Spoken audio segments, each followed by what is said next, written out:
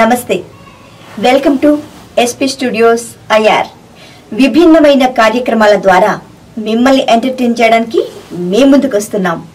మా SP studios IR ఛానల్ని like చేయండి సబ్స్క్రైబ్ చేయండి మీ ఫ్రెండ్స్ మరియు మీ ఆత్మీయులతో షేర్ చేయించండి మమ్మల్ని ఆదరించండి. ఇంకొక అద్భుతం మీ జీవితంలో ఏంటంటే అంబేద్కర్ గారి పాత్ర మీలో ఇమిడిపోవడం. రాష్ట్ర ముఖ్యమంత్రి రోసయ్య గారి ఒక పది నిమిషాలు చూద్దామని నాటకానికి వచ్చి రెండు గంటలు చూసి స్టేజ్ మీదకి వచ్చి నన్ను ఆలింగనం చేసుకో ఒకసారి నాటకం దగ్గరికి రండి మీకు నటన ఏంటో చూపిస్తాం. నటించి మీరు నిర్భయంగా స్టేజ్ మీద హావభావాలు ప్రకటించే విధంగా నేర్పిస్తాం.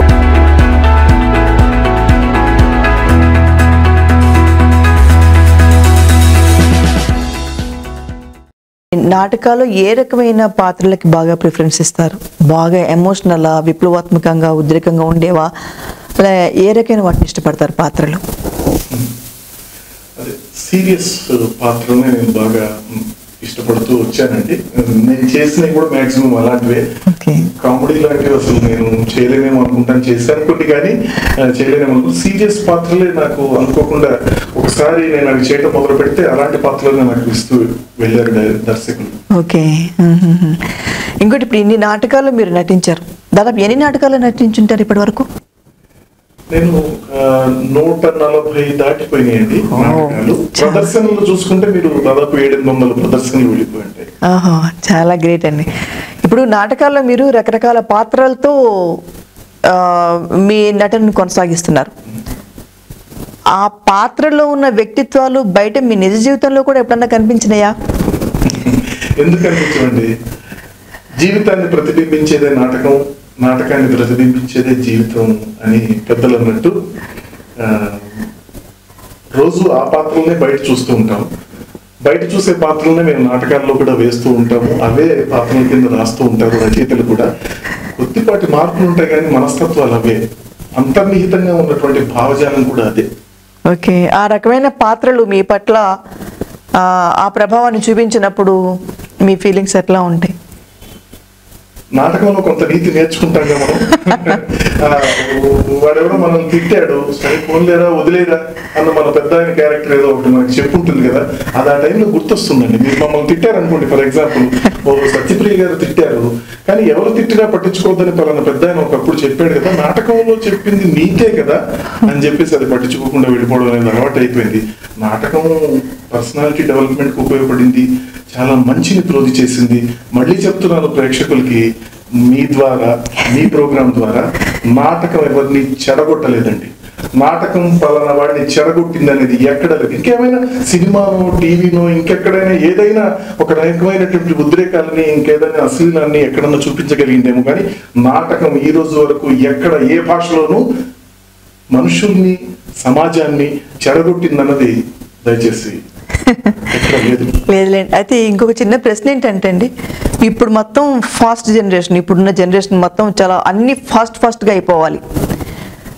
ఎక్కడ కుదురుగా ఎక్కువసేపు ఉండలేరు. అంత దాకా ఎందుకండి? ఇప్పుడు ఒక చిన్న షార్ట్ ఫిల్మ్ పది నిమిషాల షార్ట్ ఫిల్మ్ వస్తే చూడాలంటేనే గబ నొక్కేస్తారు. వాళ్ళకి ఇష్టం వచ్చిన సీన్ వచ్చిన నొక్కేస్తే అది ఫినిష్ చేసేస్తారు. ఆ రకమైన మనస్తత్వాలు తయారవుతున్న ఈ రోజుల్లో థియేటర్ దాకా పనిగట్టుకుని వెళ్ళి కొన్ని గంటల సేపు అక్కడ కూర్చుని ఆ నాటకాన్ని చూసే ఓపిక జనాల్లో ఉందా? ఇప్పుడు ప్రదర్శించబడుతున్న నాటకాలు ఎంతవరకు సక్సెస్ అవుతున్నాయి? మంచి వ్యాలిడ్ క్వశ్చన్ వేశారండి చాలా మంచి ప్రశ్న వేశారు.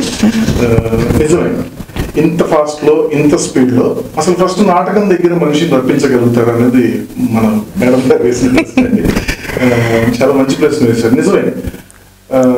అసలు నాటకానికి ఎందుకు రావాలి వాళ్ళు నాటకం ఒకసారి చూస్తే కదా వాళ్ళకి ఏంటో తెలిసేది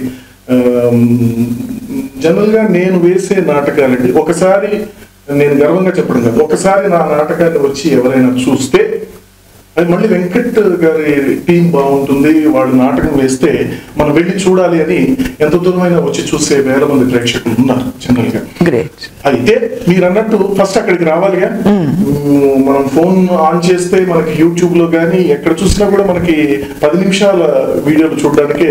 మనం టైం వెచ్చించలేని సమయంలో. రెండు గంటలు మూడు గంటలు నాటకాలు ఎందుకు చూస్తారు అని అంటే మన పక్కన కర్ణాటక రాష్ట్రంలో మనం చూస్తున్నామండి. అక్కడ నాటక రంగంలో పనిచేసేటటువంటి నటీ నటులకి సినిమా నటీనటులకు ఉన్నటువంటి స్థాయిలో అడ్వర్టైజ్మెంట్. ఇది ఉంటుందండి హోర్డింగ్స్ ఏమైనా వేస్తే కర్ణాటకలో నాటకరంగ నటీనటులే హోర్డింగ్స్ మీద కనపడతారు ఇక్కడ మనకి మహేష్ బాబు గారు కనిపించినట్టుగా అక్కడ ఏ వెంకట్ గోవాడో హోర్డింగ్లో కనిపిస్తాడు. ఆ స్థితి మన దగ్గరకు వచ్చిన రోజున ఖచ్చితంగా ఓ వెంకట్ గోవాడు గారి నాటకానికి వెళ్ళాలి అన్న స్థితి పక్క రాష్ట్రమేగా మనం ఆ స్థితికి మనం తీసుకెళ్ళేటటువంటి కమర్షియల్ వైబిలిటీ అంతటి అడ్వర్టైజ్మెంట్ అంతటి స్థితి ఈ రోజున నాటకానికి కనుక ఆ ప్రయత్నంలోనే మేమంతా ఉన్నాం. మనం ఉన్నాం మీరు చేశారు కాబట్టి. అలా కనుక మనం తీసుకెళ్ళగలిగితేనండి ఖచ్చితంగా ఒకసారి చూసిన వాడు మళ్ళీ రెండోసారి నాటకాన్ని చూడను అని మాత్రం అనడండి. అలాంటి నాటక సమాజాలు ఉన్నాయి అలాంటి నాటకాలు కూడా ఉన్నాయి.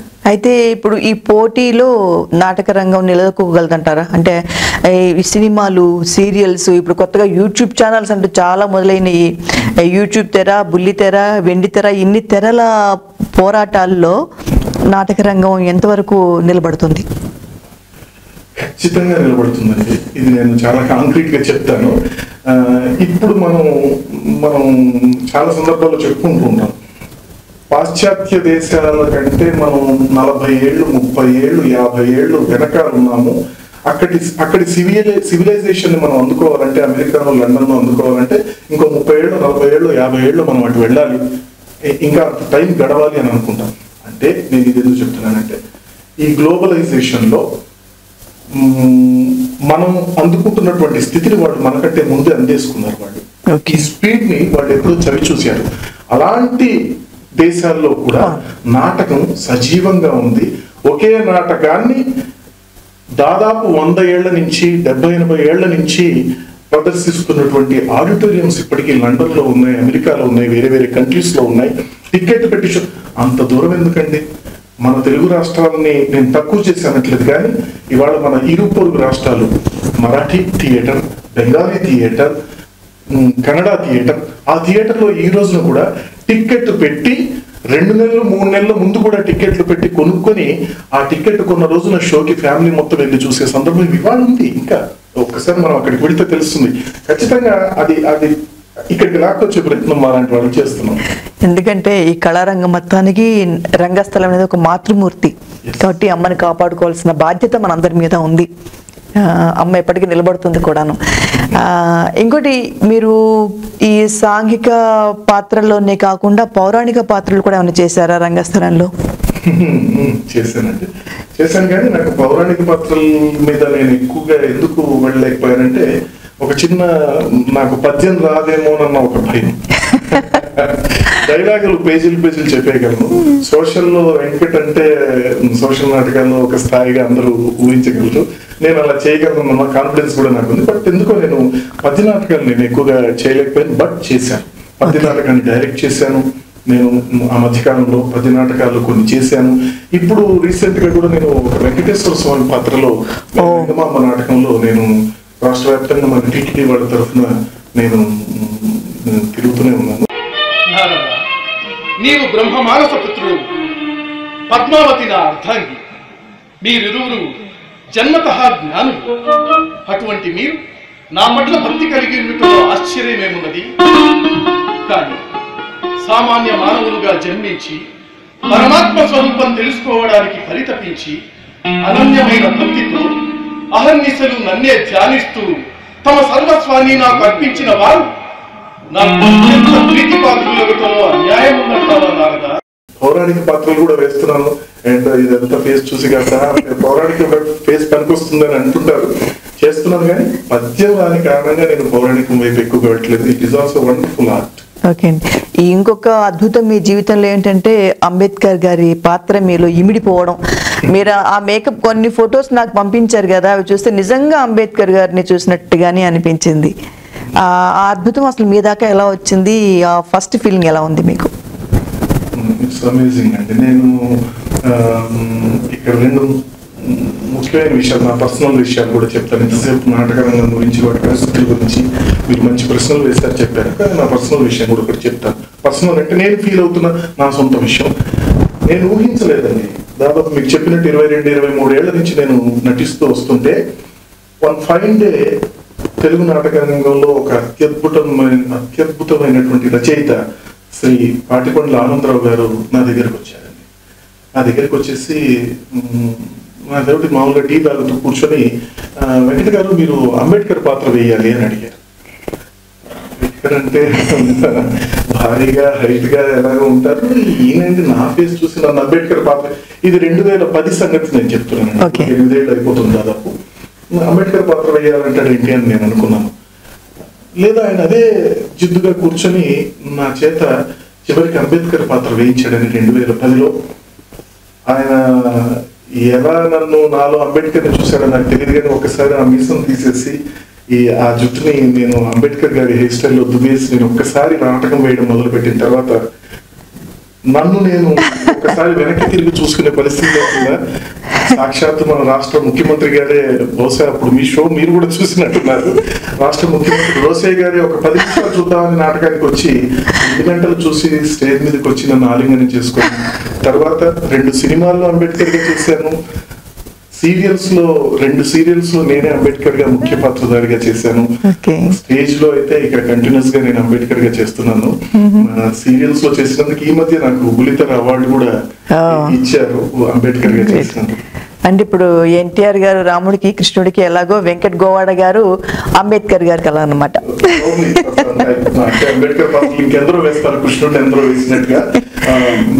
ఈ- కాస్త నేను మాత్రం ఆ పాత్రకి నిజంగా నేను రుణపడి ఉన్నాను.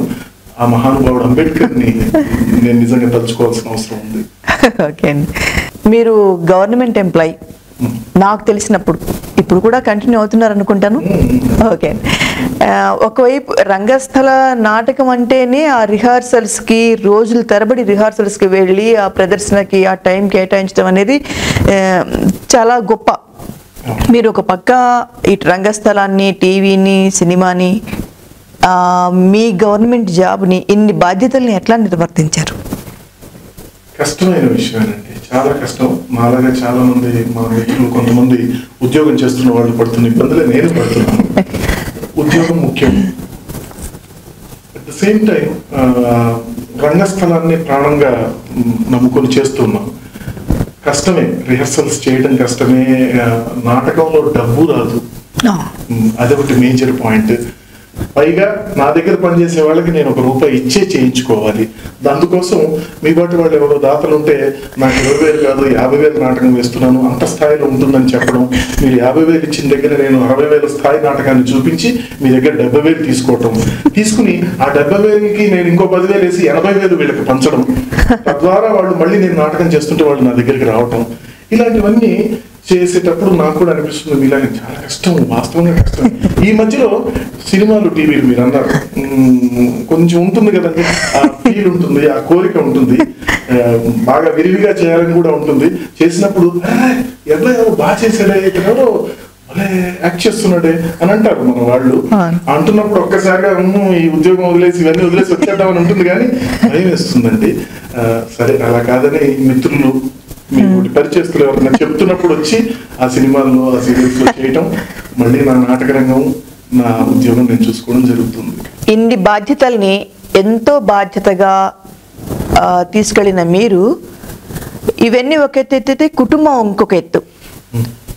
వీటన్నిటిని మించిన పెద్ద బాధ్యత అసలు వాళ్ళని మేనేజ్ చేయడం చాలా కష్టం. అలాంటిది కుటుంబాన్ని ఎలా నిర్వహించారు? ఇన్ని బాధ్యతల్లో టైం ఎలా కేటాయించగలిగారు కుటుంబానికి? మ్మ్. నేను వాళ్ళని మేనేజ్ చేసేదేం లేదండి కరెక్ట్గా చెప్పాలంటే పాపం నా నా స్థితికి వాళ్ళే నాతో మేనేజ్ అవుతున్నారు అని నేను చెప్పాలి. నా తల్లిదండ్రులు నా భార్య వాళ్ళకి నేను ఈ జన్మకు రుణపడున్నానండి ప్రేక్షకుల సమక్షంలో చెప్తున్నాను నేను. నేను నాటకం చేస్తున్నాను అంటే ఈ ఇరవై రెండు ఇరవై మూడేళ్ళ నుంచి ఏ, మా నాన్నగారు మా అమ్మ నా సతీమణి. సీరియల్స్లో చూసినప్పుడు ఎంత ఆనందిస్తారో నాటకంలో చూసినప్పుడు అంతకంటే ఎక్కువ ఆనందిస్తారు నన్ను. మరి అక్కడ డబ్బులు వస్తాయేమో ఇక్కడ డబ్బులు రావు కదా నువ్వు మరి అక్కడికి వెళ్ళి ట్రై చేయొచ్చు కదా పోనీ. ఈ ఉద్యోగాన్ని నుంచి అక్కడ నువ్వు సెటిల్ అవ్వచ్చు కదా నీకు అంత అవకాశం కనిపిస్తుంది కదా అని ఎప్పుడూ నా అభిప్రాయానికి విరుద్ధంగా వాళ్ళు ఎప్పుడు నన్ను ప్రోధి చేయలేదు.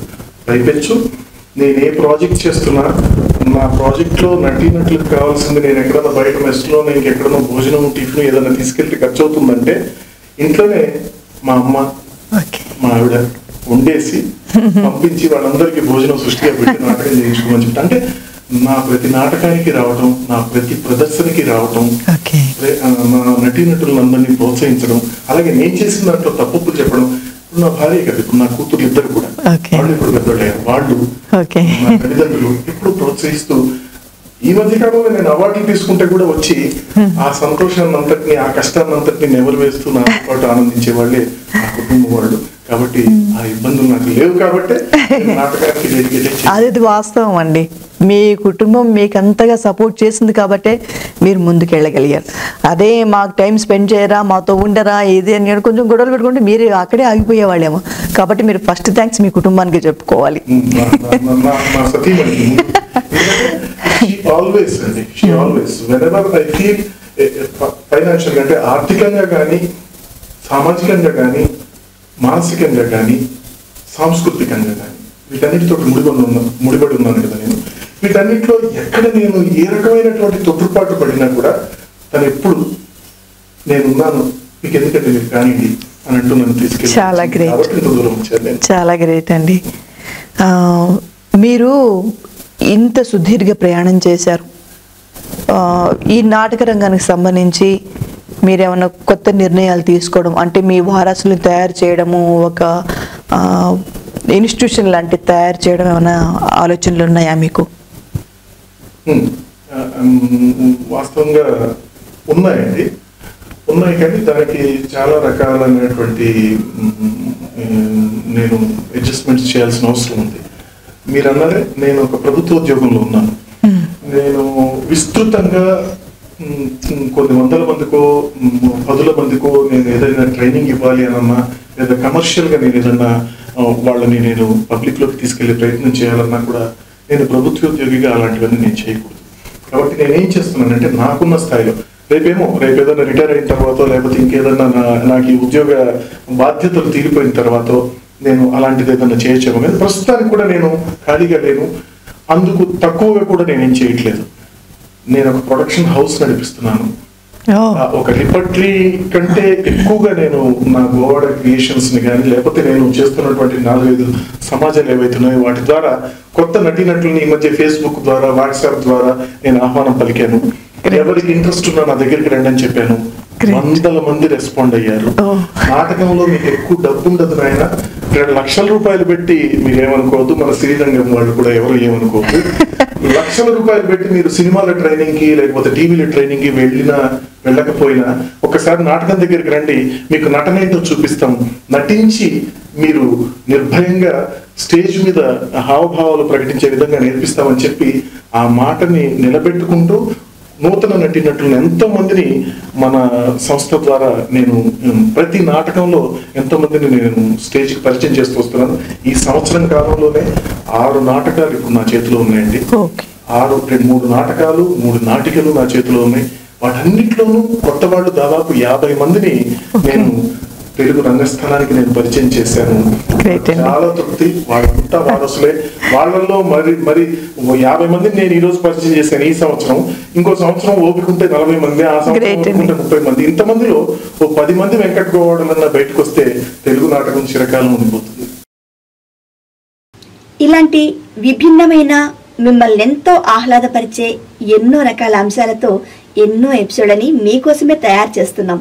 మా ఎపిసోడ్లన్నీ మీ దాకా రావాలి అంటే వెంటనే ఎస్పీ స్టూడియోస్ ఐఆర్ యూట్యూబ్ ఛానల్ని సబ్స్క్రైబ్ చేయండి లైక్ చేయండి మీ ఫ్రెండ్స్ తోటి మీ ఆత్మీయులతోటి షేర్ చేయించండి.